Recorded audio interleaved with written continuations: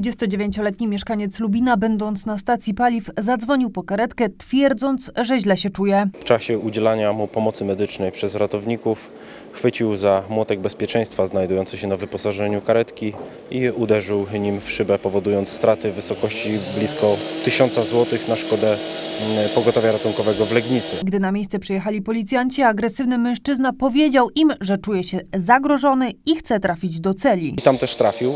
Nazajutrz po wytrzeźwieniu, bo okazał się być osobą nietrzeźwą, mężczyzna usłyszał zarzut umyślnego zniszczenia mienia, za co grozi mu kara do 5 lat pozbawienia wolności. Po usłyszeniu zarzutów mężczyzna został odebrany przez rodzinę i przewieziony do placówki odwykowej. Policjanci apelują o rozwagę. Niszcząc sprzęt lub pojazd ratujący życie, możemy spowodować, że ktoś naprawdę potrzebujący tej pomocy w porę jej nie otrzyma.